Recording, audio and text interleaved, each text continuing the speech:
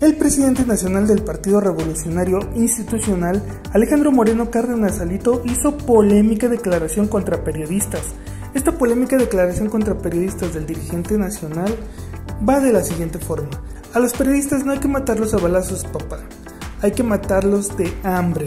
El audio original se difundió por la gobernadora de Campeche, Laira Sansores, durante la transmisión de su programa Martes de Jaguar. Además, la mandataria estatal mencionó el pago de al menos 5 millones de dólares al estratega español Antonio Solá, lo que constituye un delito electoral, por ello presentará una denuncia electoral.